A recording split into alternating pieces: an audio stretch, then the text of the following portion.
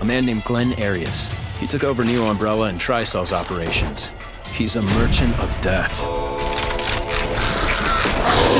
The wonderful thing about my products is that they know the difference between ally and enemy.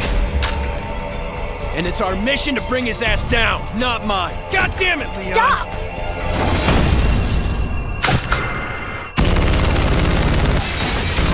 Rebecca!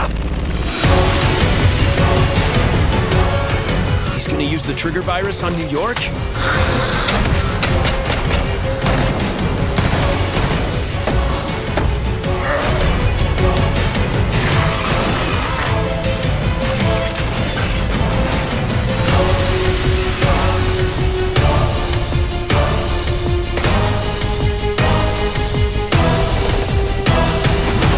Our time starts now. I want revenge.